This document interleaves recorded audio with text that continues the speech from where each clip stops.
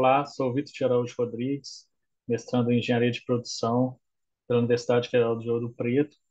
Vou apresentar aqui o artigo submetido ao Congresso da Bergo, intitulado A Concepção do Trabalho em uma Associação de Catadores de Material Reciclável. Assim insere no tema Ergonomia, Fatores Humanos e Sustentabilidade, e foi escrito em conjunto com o meu orientador, professor Dr. Raoni Rocha Simões. Bom, estamos falando, né, falando aqui de concepção do trabalho. O trabalho é objeto central, é disciplina de ergonomia, como uma ciência né, do trabalho, e na concepção, ou seja, trazer a ergonomia no, nas fases iniciais de qualquer gestão de projeto, de modo a, a conhecer, compreender melhor o trabalho nas fases preliminares e ampliar aí as possibilidades de desenvolvimento das atividades. Esse é o objetivo. Além disso, a, a, o uso né, de ferramentas que fomentam a participação, que é fundamental o movimento de todas as pessoas. Bom, então, dentro dos objetivos, parte para uma demanda, uma demanda a partir de uma mudança, para, né, uma instalação nova desses associados, para ampliar essa, esse, a possibilidade de desenvolvimento das atividades, regulação do trabalho. Além disso, implementar, ao mesmo tempo, avaliar essas ferramentas é, de simulação, de mediação, para trabalhar tanto a parte de representação do próprio trabalho, como as soluções, aí, as soluções levantadas a partir é, da análise do trabalho. Bom, como metodologia, estamos falando então de pesquisação, que tem essa, essa visão né, de complementar entre ação e pesquisa, e, e também uma atuação em tempo real, envolvimento das pessoas, e a análise ergonômica do trabalho, parte aí das questões de análise da tarefa e da atividade, situações características, variabilidades, é, para compreender o trabalho e a ergonomia de concepção, como uma forma de um contínuo diálogo né, com a situação, de forma a antecipar essas atividades futuras.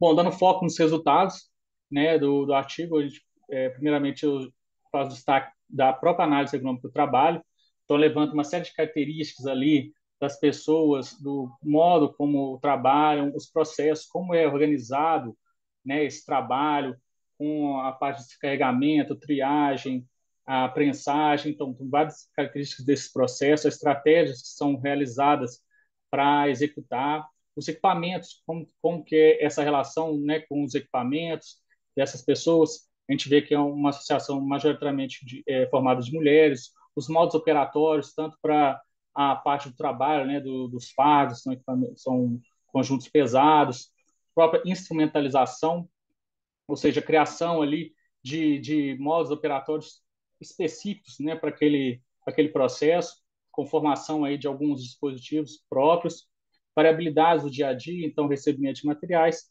situações características, ou seja, um, um, um aprofundamento aí dessas, dessas características do trabalho.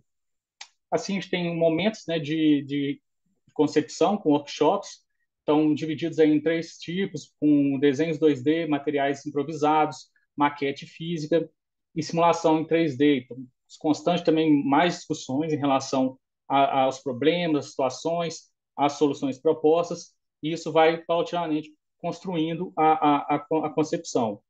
Então, tem essas discussões né, em cima dessas situações, a partir de todo conhecimento né, do processo, as verbalizações, é, as especificidades desse processo e avaliação dessas ferramentas. Assim, a gente vai realizando modificações a partir de, de, de uma organização né, do trabalho, fazendo, é, vamos dizer assim, formalizando essas, essas construções em alguns desenhos e alguns processos para ter essa gestão visual, uma maior compreensão do próprio trabalho. Como conclusão, a gente vê que esse consenso, essas discussões, esses momentos são fundamentais para a tomada de decisão quanto maior o número de atores e também um teste quanto aos vários tipos de ferramentas de mediação. Então, ela se dá num, num contexto específico, mas que é, favorece né, o sentimento de propriedade nessa construção social. Então, agradeço aí a PEMIG, o FOP, CAP, CNPq e a BEG pela oportunidade, estou à disposição é, para a gente trocar ideias sobre o artigo. Obrigado.